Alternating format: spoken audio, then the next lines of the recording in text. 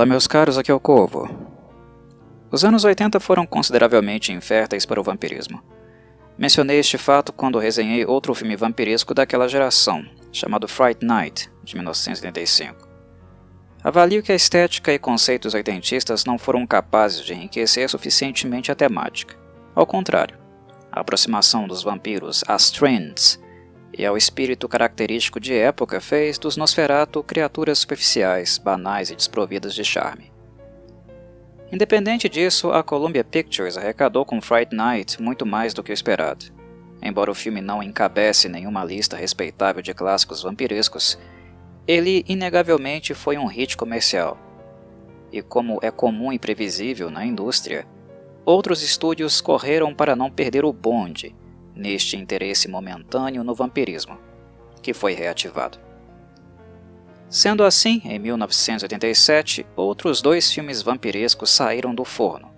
Em julho, foi lançado The Lost Boys, dirigido por Joel Schumacher, e em outubro, a De Laurentiis Entertainment Group fez uma de suas últimas apostas com o filme Near Dark, visto que o estúdio enfrentava sérios problemas financeiros e beirava falência. The Lost Boys, como os fãs vampirescos estão cansados de saber, se tornou um hit ainda maior que Fright Night, e talvez seja a principal referência vampiresca dos anos 80. Já Near Dark foi um fracasso de bilheteria e a de Laurentiis acabou por fechar as portas pouco tempo depois. A ironia é que The Lost Boys e Near Dark foram filmes cuja semelhança não parou no ano de lançamento. Ambos, em termos de roteiro, são verossímeis.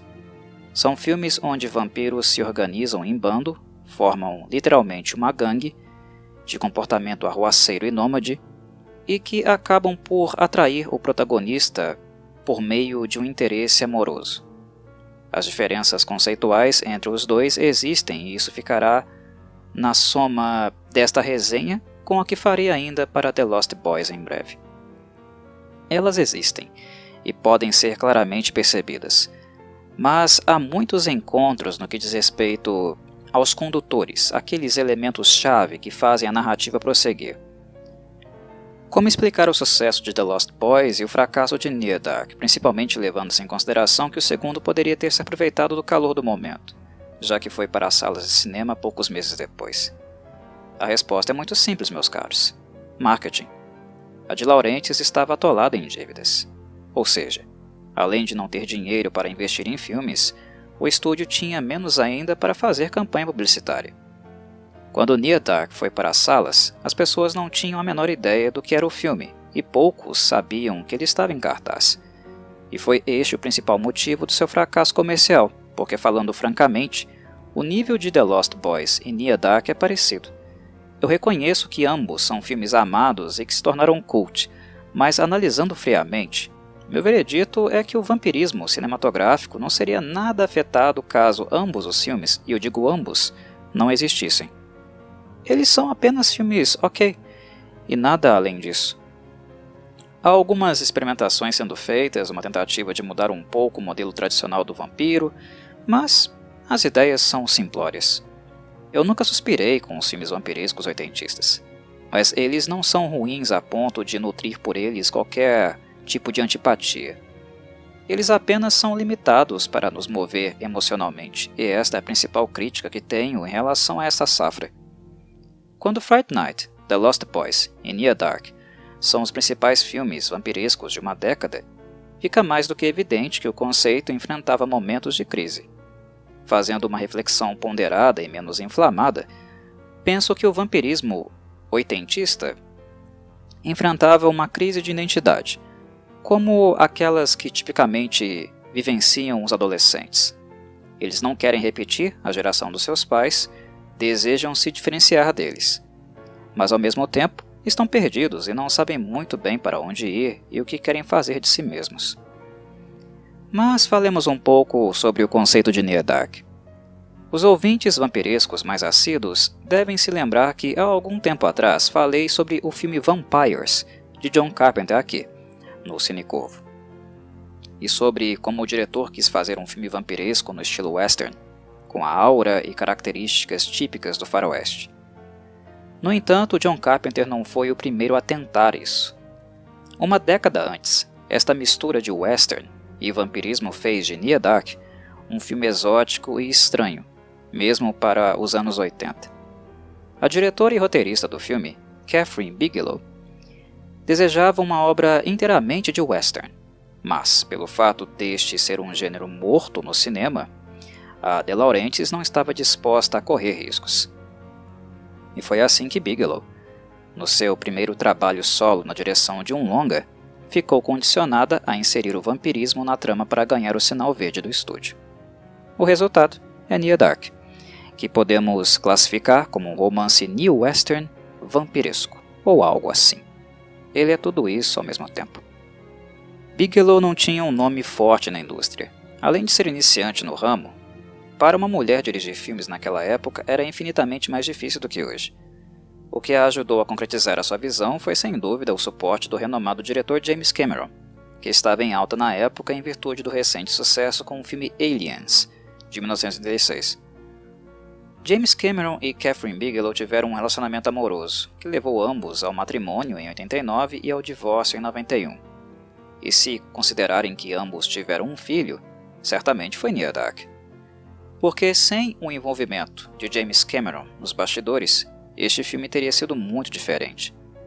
Ele não apenas convenceu Catherine Bigelow a utilizar boa parte do elenco de Aliens, mas também convenceu atores e atrizes a darem uma chance para o projeto.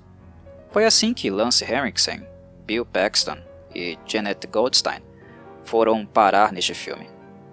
Considerando a carreira como um todo, Bill Paxton é o ator mais reconhecido. Os demais são rostos identificáveis em papéis menores e em filmes tradicionais, mas de maneira geral são atores de cinema B, filmes do tamanho de Near Dark, por exemplo. Dito isso, é sensato constatar que sem a ajuda de Cameron, Bigelow talvez não conseguisse recrutar um elenco com a experiência dos citados. A De Laurentiis não estava em condições de pagar altos salários. Os protagonistas Caleb e May, o par romântico da vez, foram interpretados por Adrian Pasdar e Jenny Wright. Os fãs da lendária banda de rock progressivo Pink Floyd irão reconhecer Jenny, pois ela fez uma ponta no drama musical The Wall, um clássico absoluto do cinema e que eu também já abordei aqui no Cinecovo. Jenny é aquela grupo loirinha que acompanha o protagonista Pink antes dele surtar e arrebentar todo o apartamento. Já Adrian Pasdar, bem, pessoalmente eu considero um erro crasso de seleção, principalmente quando levamos em consideração que Johnny Depp, ele mesmo, chegou a fazer teste para o papel de Caleb. Quem em sã consciência descarta Depp, mesmo iniciante, em favor de Pasdar? apenas alguém que está colocando importância demasiada na aparência e não tanto assim nas qualidades cênicas. E como o tempo é senhor da razão, vimos muito bem o que Johnny Depp se tornou anos mais tarde. Já Adrian Pasdar, ninguém conhece o cara. Atualmente ele trabalha mais com dublagem, em animações da Marvel. Nia Dark é um filme de andamento lento e moroso. Além da dinâmica inconsequente de Caleb e May, que vivem sem pensar muito no amanhã, o filme não oferece muito foco de atenção. Devido ao comportamento tribalista que Bigelow quer retratar, os antagonistas se resumem a um bando de nômades sem uma filosofia ou paixões profundas. Na realidade, sua existência é bastante miserável e nada charmosa. Nós humanos precisamos de alimento sólido e principalmente água para sobreviver. Os vampiros precisam de sangue. Além desta diferença básica, nós e eles somos praticamente a mesma porcaria, pelo menos aqui em Near Dark. Notem que o termo vampiro nunca é utilizado no filme. Bigelow não escreveu a palavra em momento algum no roteiro, o que é algo raríssimo em filmes do gênero. Os únicos elementos que realmente aproximam seus antagonistas do conceito vampiresco são o consumo de sangue e a intolerância ao sol. Apenas isso. Bigelow tinha a intenção de construir um filme mais preso ao real do que no sobrenatural, e acabou por criar um bando que dorme de dia e se alimenta de noite, e nada mais. Exceto por May, os demais são rudes e adaptados ao modelo de vida na estrada. Já May é deslumbrada, ainda possui senso fantasioso e pensamentos floridos. As mudanças comportamentais nela ainda não foram profundas por ser a mais jovem do bando, e embora já esteja acostumada a matar, a relação dela com Caleb demonstra que a afeição da vida humana faz muita falta a ela. pois sua nova família, entre aspas, tem uma configuração mais instintiva e animalesca. Ela é literalmente carente, e Caleb acabou entrando no olho do furacão simplesmente porque ela buscava por uma companhia melhor e menos tóxica. Não quero entrar em maiores detalhes, pois o filme é curto e demasiadamente simplório. Falar pouco já é falar muito. Mas tenham em mente que ele rompe com qualquer romantização do vampirismo. O grupo liderado por Jesse, interpretado por Lance Henriksen, é violento e chucro. Sobrevivem com o mínimo e sempre estão sujos, até mesmo cobertos de carne chamuscada, nas vezes em que ficam parcialmente expostos ao sol. O cenário que já é árido e degradado, se torna ainda mais com a presença deles. May é claramente o passarinho fora do ninho, um ponto de incompatibilidade. Mas é passiva demais para mudar. Ela não sai do lugar. O personagem de Bill Paxton, chamado Severin, é um dos mais irritantes da carreira dele. É o típico vilão que adora ouvir a própria voz, mas não passa de uma metralhadora de inutilidades. Severin é cruel e aprecia o barbarismo da vida que Jesse lhe apresentou, e as cenas mais grotescas do filme acontecem por causa dele. É o tipo de vilão que a plateia torce para morrer logo, apenas para que ele calhe a boca. O elemento mais importante da aventura de Bigelow no vampirismo foi não associá-lo a nenhuma maldição. Em Near Dark não há qualquer explicação sobre a condição porque a diretora como eu disse previamente, quer se manter o mais longe possível do conceito vampiresco, clássico ou contemporâneo. Diferente de John Carpenter, que queria fazer um filme de western com vampiros, Bigelow utiliza o vampirismo apenas porque não há como fugir dele.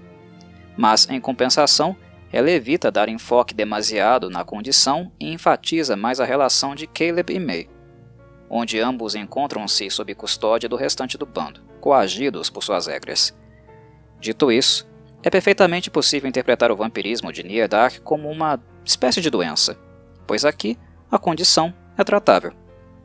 É como se fosse uma infecção, uma sujeira na corrente sanguínea, que pode ser resolvida simplesmente com uma transfusão de sangue. Houve quem gostasse dessa solução mágica, mas definitivamente não foi meu caso.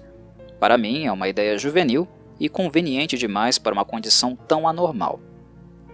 Mas levando-se em consideração que o vampirismo é uma das coisas menos importantes da trama e apenas um fio condutor para ligar os acontecimentos, os cinéfilos menos exigentes certamente não se incomodarão tanto com isso. Near Dark é interessante pela experimentação, mas para um filme vampiresco ele não é nada convencional. Para assisti-lo é imprescindível ter isso em mente. De maneira geral, é uma película que recomendo apenas para aqueles que gostam do gênero vampiresco, independente da qualidade. Dark não é essencial para o público casual, longe disso, mas para os estudiosos do vampirismo. É um exemplar digno de nota porque ele sem dúvida é representativo da estética peculiar, eu diria, da década em que ele está inserido. Um abraço a todos e saudações corvídeas.